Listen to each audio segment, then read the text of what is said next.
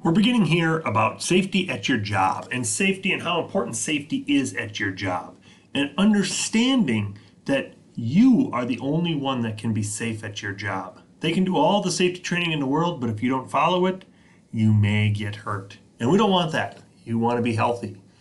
Um, my reasoning for being safe at my work is I love to fish. I can't imagine having a broken leg because I fell off something at work and now I can't fish, or I have a finger or, fingers cut off in the shop and now I have to think of a new way to start fishing.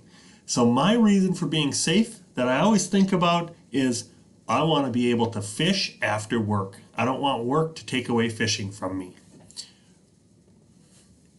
On your sheet, what I'd like you to do is fill out the answer to this question. What's your reason for being safe at work? What do you like to do outside of school? Where do you like to go?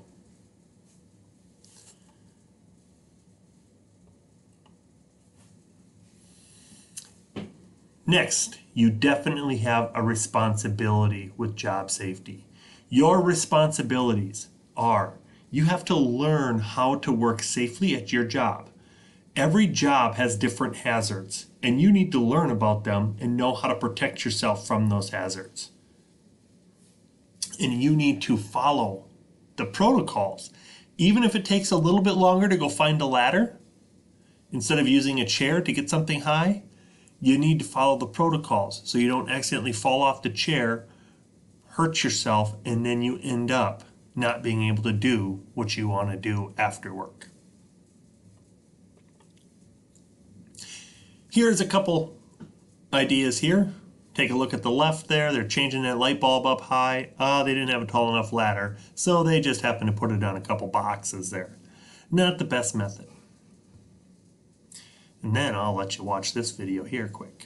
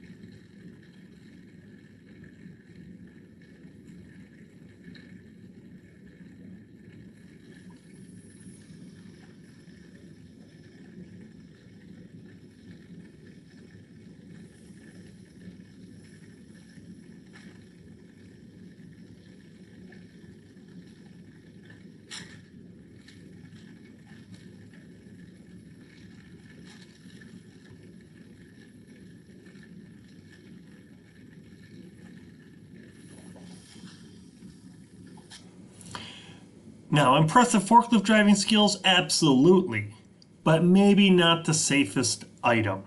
So what I'd like you to do is on your note sheet again, fill out what's your responsibility with job safety, and then for slide number five, write down what was unsafe about this slide.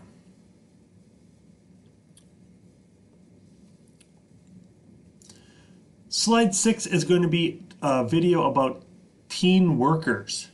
I won't play through this. You'll have to look for that video in Schoology, and then you'll be able to answer the following questions. What were the mistakes, and who was responsible for the mistakes? Answer that on your paper.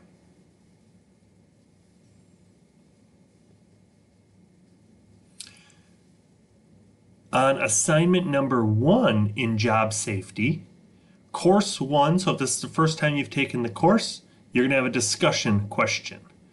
Post the three takeaways from the video.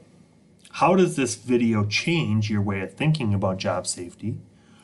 What is something at your work you currently, or at your work currently that seems routine but could hurt you if you're not paying special attention? If you're in course two, what I'd like you to do is find a person that's been injured on the job and find out what went wrong. Describe the preventative steps that could have been taken to not be injured. If you're in course number three or four, explain a close call that you had at work. If you have not had a close call, what's the most hazardous thing you do at work? What happened? What could have happened? What should you have done to prevent it? Hint here, the answer cannot be, I've never had any close calls. So now we have an understanding of safety at work and what safety at work is all about. Now it's time to get into the regulations of safety at work. OSHA. OSHA sometimes has a negative connotation when you talk to employers and stuff, but really, OSHA is there. If we understand why OSHA is there, it's pretty cool. OSHA is there so that I can go fishing at the end of the day instead of going to the hospital.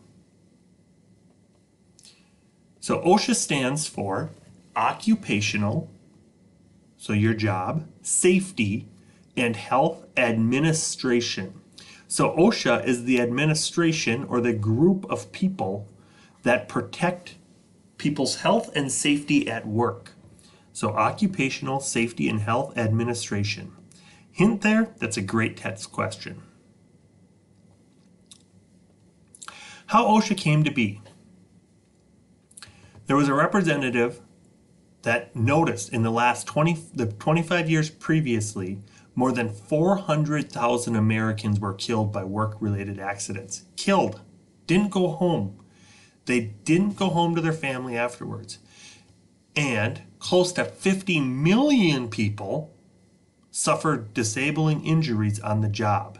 50 million people couldn't go fishing after work because they had something disabling them.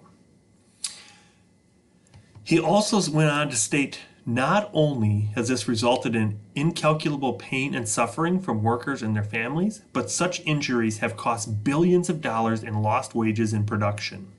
So now, not only are the workers understanding that it's very unsafe to work in this, these areas, but companies are understanding that they're losing money in training people and losing good employees and all of that and that's why we have to start really concentrating on workplace safety. On December 29, 1970, Richard Nixon signed the Occupational Safety and Health Act of 1970.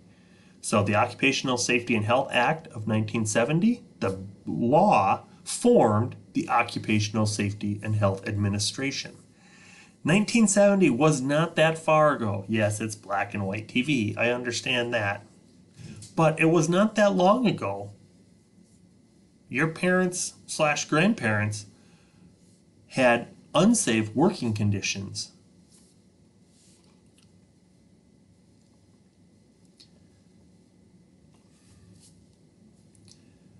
OSHA, right here. Again, Sawhorses close by, uh, let's use the guy's back.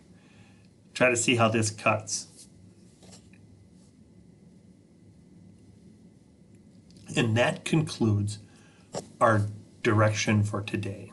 So what I would like you to do now is turn in your note sheet for this video along by taking a picture and uploading it to the assignment on Schoology, along with posting to your reflection pages on Schoology as well.